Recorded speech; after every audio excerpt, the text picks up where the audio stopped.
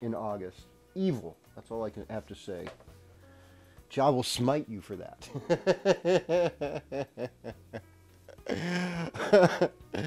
all right. Um, greetings, Aquarius. Welcome to your horoscope. Um, right now, for you, the focus is all about knowledge. You know, your key phrase is "I know."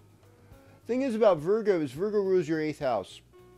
You know, what is the eighth house?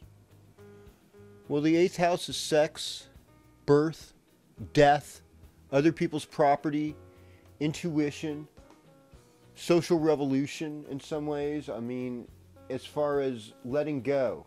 You know, the eighth house is like other people's property, so other people might be gifting you with stuff, like your house sitting or, or your um, get loaned a car or something, and then you've got to be responsible to take care of it, or maybe you do that for someone else while you're gone, and they've borrowed things from you. That's very eighth house like as well.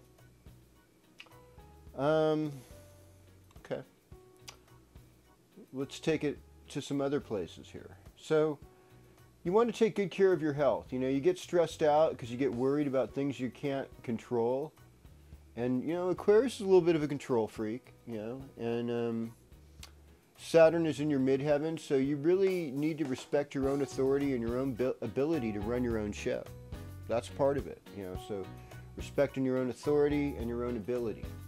That's going to take you to the next, the next level. And um, don't, you know what I mean? When, when there's a big wave, the best thing to do is go under it and through it. Don't try and run away from it. That big wave will crush you.